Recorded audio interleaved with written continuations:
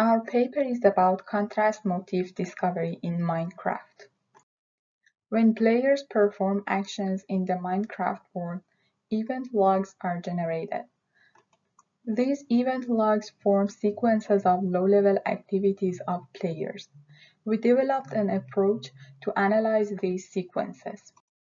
Our approach is called contrast motif discovery. Motifs are short subsequences that occur frequently with possible mutations. Contrast motifs are motifs that are significantly closer to one group of sequences versus others.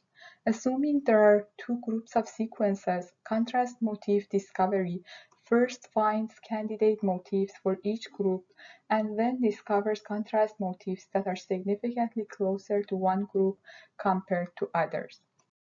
In our first experiment in Minecraft, we aimed to discover low-level patterns that distinguish high-level Minecraft actions such as fight, build, mine, and explore. These graphs are visual representations of motifs for each action. They follow our intuition and prior research. Our approach can be used to compare groups of players. In our second experiment, we compared more collaborative players with less collaborative ones. Top graph shows the collaboration graph of players in our dataset. The bottom graph shows the motif graph for highly collaborative players.